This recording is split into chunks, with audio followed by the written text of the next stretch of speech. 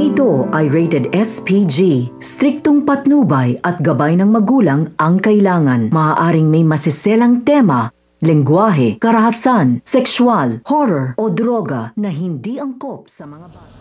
So guys, kasalukuyang ang nasa Apex. Eto nga si Aling Susan at naka-confine. Eto namang si Zoe, galit na galit nga dito at talaga nga sinasabi nito na wala naman itong sakit. Kung kaya ta pinalalayas na nga niya ito sa ospital.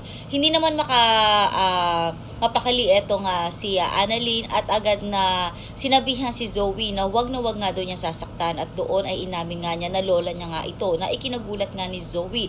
Subalit sigurado na matatawa nga ito dahil uh, sa itsura ng lola nga nito ni Annalyn. Samantala, uh, patuloy na asot pusa nga etong si Annalyn at Zoe na talagang uh, kinaiinisan na nga nito ni uh, Doc Enrique. Sinabi nga nito na parang magkapatid ang dalawang ito na tila ba nag-aaway nga sa isang candy. Sinabi naman ito ni Zoe kay Doc Enriquez na kaya niya na makisama kay Annalyn bilang magkatrabaho at uh, uh, kung sakasakali na bilang magkapatid, yun daw ay talagang hindi niya kakayanin.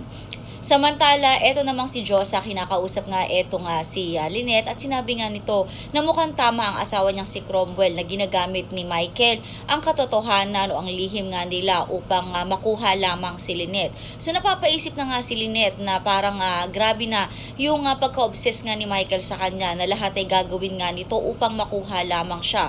Dahil ngayon ay binabalaan na nga nito si Lynette at eto nga si Robert na kung sakali magkita pa sila ay sisiguraduhin niyang malalaman nalaman ni Lynette ang kanilang sikreto at sigurado siya na magkakagulo. So ano nga ba ang gagawin ni Lynette ngayon na nakikita na niya ang tunay na kulay nga nito ni Michael na tila ba parang uh, grabe na yung pagkabaliw nga sa kanya na parang iniisip na lamang nito ay ang sarili niya. Hindi niya naisip ang kaligayahan ni Lynette at ni Annalyn. So lahat ng yan pakatunghayan nga natin sa mas tumitinding mga revelasyon dito nga lang sa abot kamay na pangarap.